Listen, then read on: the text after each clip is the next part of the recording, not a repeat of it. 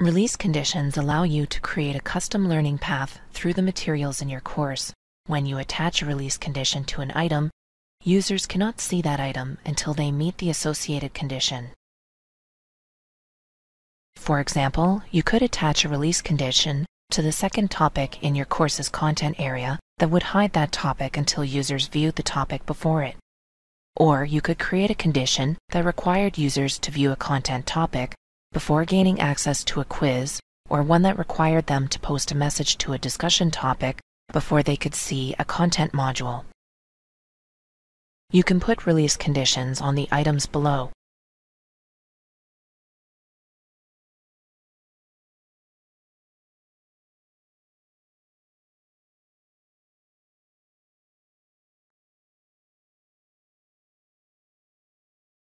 Let's review the common elements of release conditions.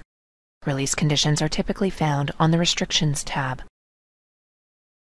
From here, you can attach an existing release condition, create and attach a new release condition, and remove existing conditions. When creating a release condition, select a condition type and condition details. The condition details section is populated based on what you selected as your condition type. For example, by selecting Content Topic Visited as our condition type,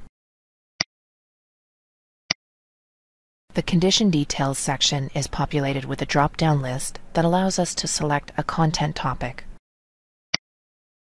And now we can create our release condition. The Release Condition section has been updated with the newly created condition. In addition to removing all conditions, you can also remove conditions individually. To restore the condition, click the plus sign.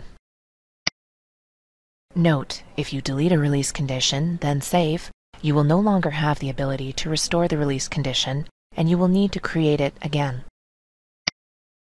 If you have more than one release condition, you can specify if users must satisfy any or all of the following release conditions. In this example, we only have one release condition, so I'll leave it set to all.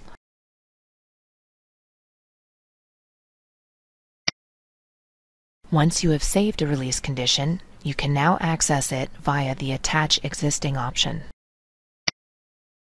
This allows you to reuse the same condition for several items without needing to create it every time.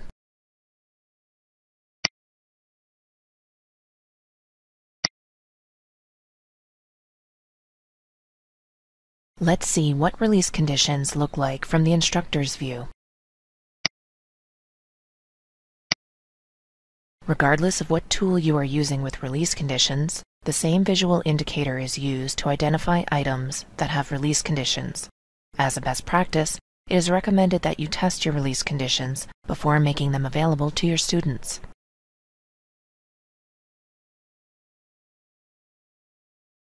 From the student's perspective, they cannot see or access items that are dependent on a release condition until that release condition is met. In this example, students cannot see the next module until they visit the last topic of the first module. By satisfying the release condition, students can see and access the next module.